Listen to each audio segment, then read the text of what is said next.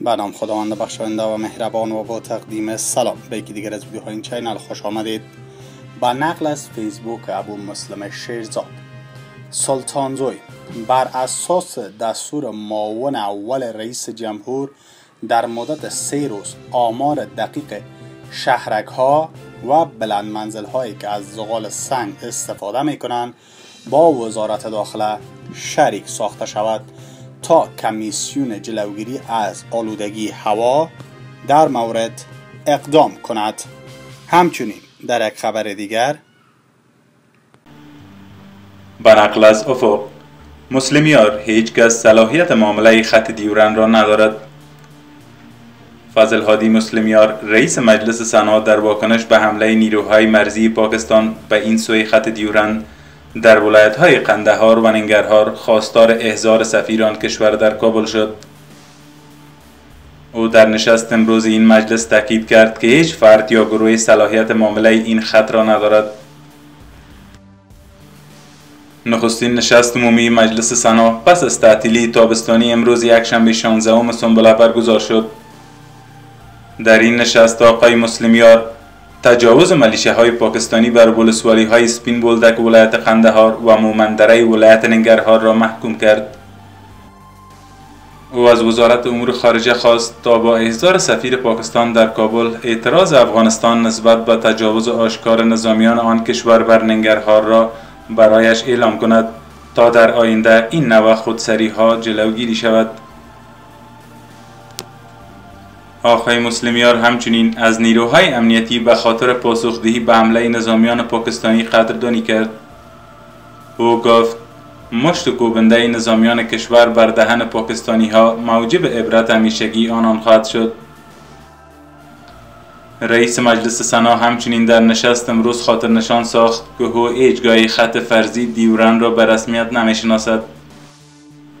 و به هیچ فرد و یا گروه اجازه توافق بر سر این خط را نمی‌دهد. او تاکید کرد که نظامیان کشور مکلف به دفاع از کشور بوده و مجلس سنا نیز با قاطعیت از عملکرد آنان حمایت و پشتیبانی می کند اخیرا نظامیان پاکستان در ولایت های ننگرهار و قندهار با نیروهای امنیتی افغان درگیر شدند. مقام در این ولایت گفتند که نظامیان پاکستانی تلاش داشتند تا در خاک افغانستان دست به ایجاد تأسیسات بزنند که با واکنش نیروهای امنیتی مواجه شده است.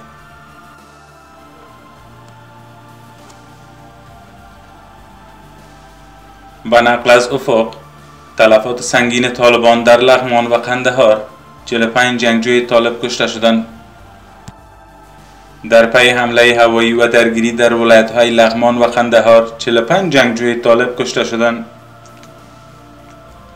سخنگوی والی لغمان اعلام کرد که در نتیجه حمله هوایی نیروهای ارتش در مربوطات ولسوالی علیشنگ این ولایت تلفات سنگین بر طالبان وارد شده است.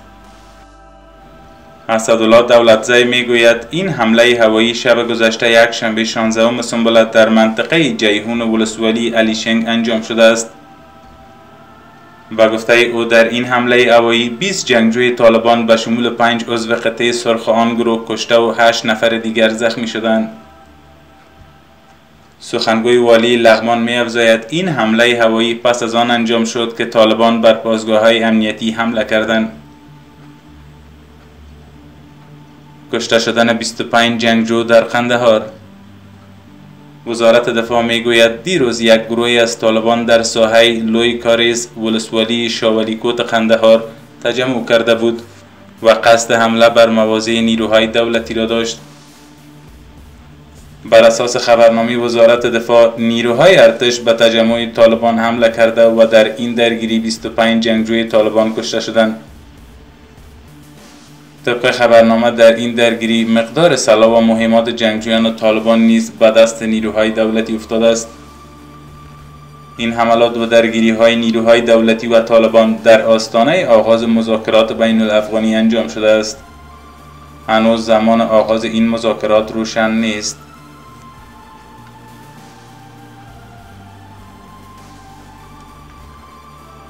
و همچنان به نقل از اشت صبح افغانستان و هفت اولویت مهم اقتصادی پس از جنگ. پس از امضای موافقتنامه صلح میان امریکا و طالبان گام های مهم در راستای شروع گفتگوهای بین الافغانی برداشته شده است. موافقتنامه سیاسی میان دکتر عبدالله و اشرف غنی برگزاری جرگه مشورتی صلح و آزادی زندانیان طالبان و نیروهای امنیتی آخرین گام ها برای شروع گفتگوهای بین الافغانی به شمار می رود.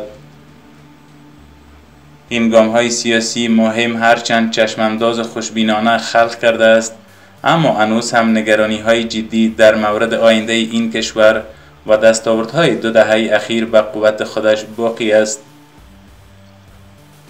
فرض مهم در شرایط فیدی این است که به نتیجه رسیدن گفتگوهای بین الافغانی باعث کاهش قابل ملاحظه خشونت ها خواهد شد و افغانستان فرصت جدید برای رشد و توسعه به دست خواهد آورد.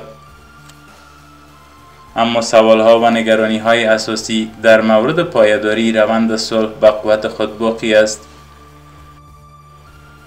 یکی از بنیادی ترین مواردی که همواره نادیده گرفته می شود بستر اقتصادی منازع خیز افغانستان است.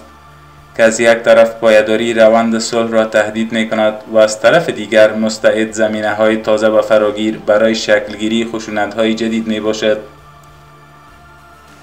تاریخ سیاسی و اقتصادی این کشور نشان می دهد که ثبات سیاسی و حکومتداری خوب به دلیل ناتوانی در ایجاد اقتصاد قانونی و خودکفا به لحاظ مالی همواره با چالش مواجه بوده است.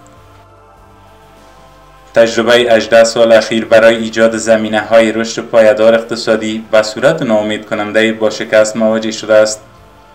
یک بخش این ناکامی وابسته به عوامل ساختاری است ولی بخش مهم دیگر نتیجه تطبیق سیاست های نادرست و مدیریت ضعیف و ناکارآمد سیاسی و اقتصادی است.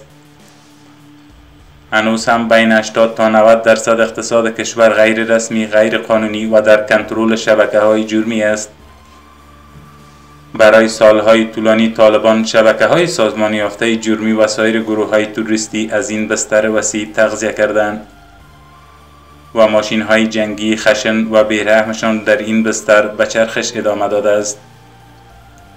نزدیک به 72 درصد مردم زیر خط فقر زندگی می کنند و افغانستان یکی از پنج فقیرترین کشور جهان است.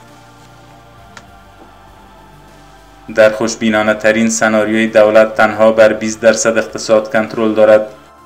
فساد سیستماتیک و تضعیف نهادهای سیاسی مکمل رشد پایدار اقتصادی زمینه های اندک برای تقویت زیربناهای اقتصادی پایدار را با خطر نابودی مواجه کرده است.